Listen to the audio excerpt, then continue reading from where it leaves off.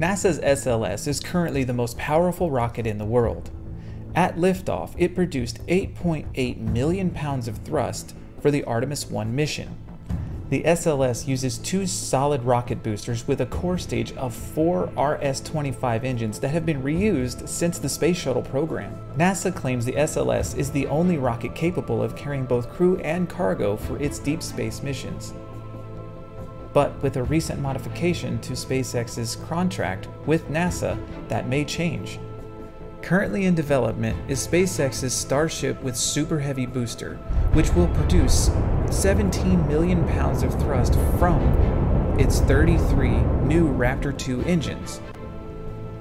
This also provides the opportunity for SpaceX's Starship with Super Heavy booster to carry more than 220,000 pounds of both crew and cargo into low Earth orbit. SpaceX's Starship will become the most powerful rocket in the world, and once NASA completes the gateway, which will lie between the Earth and the Moon, this will provide NASA and SpaceX the opportunity to bring both human and cargo for deep space exploration. SpaceX is planning their first orbital test of Starship with Super Heavy booster to launch from Starbase in Boca Chica, Texas. Starship and Super Heavy booster combined stand at 395 feet tall.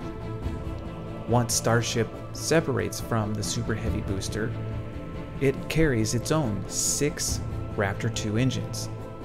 SpaceX's Starship and Super Heavy booster will provide NASA and the world the opportunity to build the gateway and explore the lunar surface and put even more boots on the moon and soon even further onto Mars and who knows, maybe even deeper into space.